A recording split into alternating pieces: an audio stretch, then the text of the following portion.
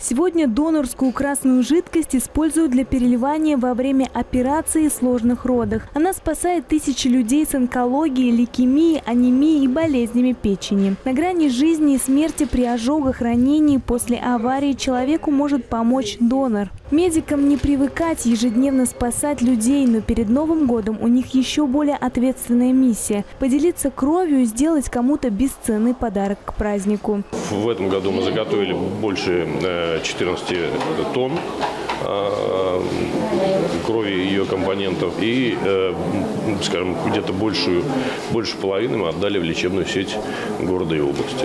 Отдавать частичку себя для выздоровления соотечественников у медиков первой городской поликлиники имени Кирова стало уже ежегодным ритуалом. О важности донации они знают не понаслышке. У кого-то пациенты, у кого-то коллеги, у кого-то родственники оказались в ситуации, когда переливание крови спасает жизнь. А кто-то знает на собственном опыте.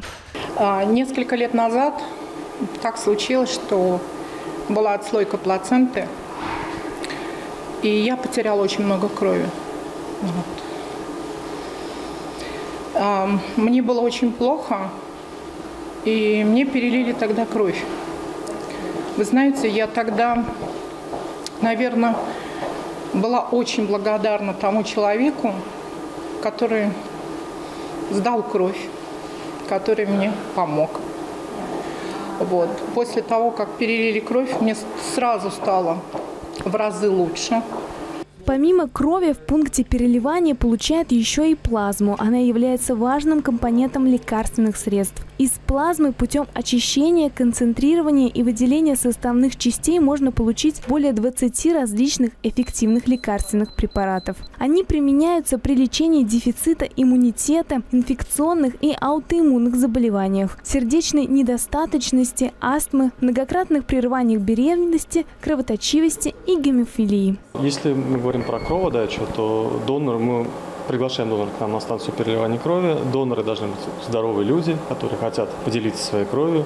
Сначала донор сдает кровь операционную, потом мы кровь обрабатываем центрифугами, разделяем на плазму, эритроциты и тромбоциты.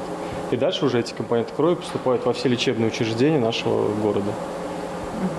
А если мы говорим про аппаратный метод заготовки, а, то вот мы сейчас находимся в операционной плазме Фереза, где мы заготавливаем отдельный компонент плазма и отдельный компонент тромбоцита.